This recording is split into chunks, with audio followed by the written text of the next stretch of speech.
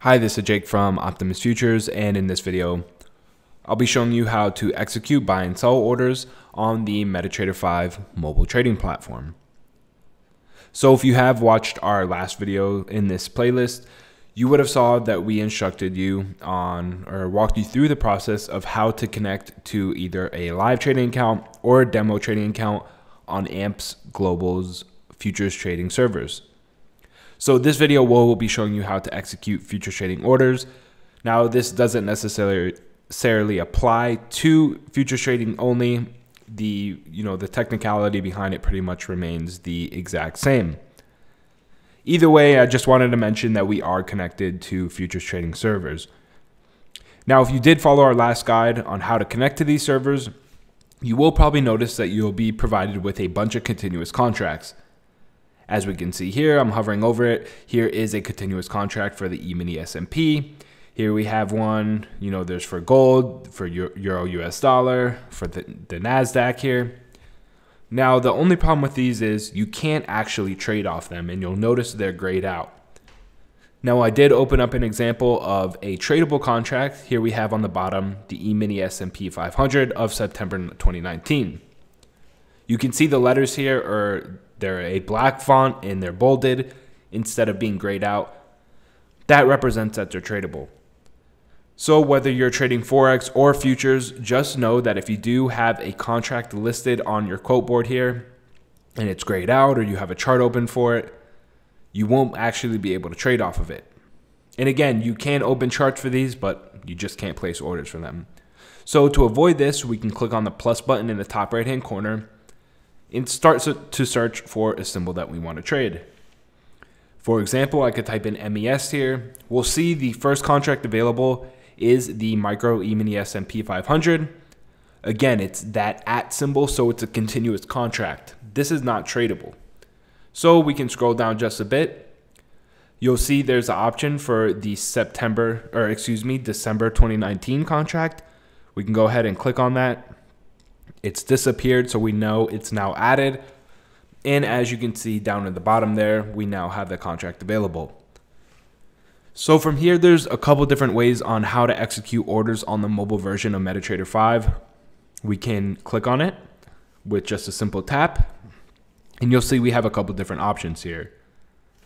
So of course, the most prevalent option is new order. Simply click on that. Here we have your order types at the top. So I believe an exchange execution is pretty much just a market order. Other than that, here we have buy limit, sell limit, buy stop, sell stop, and then we have both buy stop limits and sell stop limits. As you can see with exchange execution, it's pretty much just going to execute at the market price. With a limit order, for example, we can actually type in the market price there. And we can increase with the plus or minus buttons as needed. Or we can manually type in here the price level at which we want to place the order at. You have the duration, so you have good till cancel or a today order. And then you can see um, the order flags as well, such as return, fill or kill, or immediate or cancel. Now, I'm not going to place an order just yet. I'd like to go through the other options or the other methods of placing trades as well. So if we click on the back button and head up to the top left hand corner, we can access our main menu. You can use this at the bottom of the page as well, but just so you have an exact, um, you know, guideline here with um, the names next to the little buttons, I suggest going to the top left. So if you open up a chart, you'll see here it will open up with whatever contract you last clicked on the quote board. Here we have the E-mini S&P 500 again. Now, if you'd like to, you can place an order through your chart as well by clicking on that plus button in the top right hand corner. Again, this is pretty much exactly the same thing as we just saw. Enter in your order here, the order type, choose a price, the fill policy, the order duration, and then click on buy or sell. It's really that simple. You can also go to the trade tab here and execute your orders through this way. This is also where you'll monitor your account balances, margins, all the positions you currently have. Again, simply hit that plus button in the top right hand corner it, it should be associated with the last traded contract. I believe if you click this dollar symbol in the top right, yes, you can. You can also switch the contract here as well. Now, I'd also like to show you before I actually execute an order. If we go back to the quote board, hover over a contract and long press and, and tap there or hold, there's also the option for depth of market. This is another way you can place your orders. This will give you the market depth, at least for futures trading orders. You can see the market depth on the left hand side there, the volume. You can see the price in the middle, and then you can place your orders. And this is actually used for one click trading. If you want to instantly execute orders, you will have to accept this terms of agreement first because it is possible to accidentally place an order. At the end of the day, the risk is on you, but just keep in mind if you do tap one of these up or down arrows on the right hand side, the order should instantly execute. Just to show you an example, if I click on this price right here, um, 3140 with the up arrow on the right hand side, you can instantly see I just bought a buy stop with the quantity of one. I can do something down here at 3139. You can see I clicked the left arrow, the red arrow down, and it put me a sell limit. So your blues are your buys, of course. The red is the sells. And then depending on where you click on the market, it'll either be a buy or limit or a sell stop or sell limit or buy stop. You can adjust the quantity at the top here. You see I'm moving over my cursor right here. And then if you want to do like a bracket order, um, stop loss or take profit, you can adjust those in the top left or top right accordingly.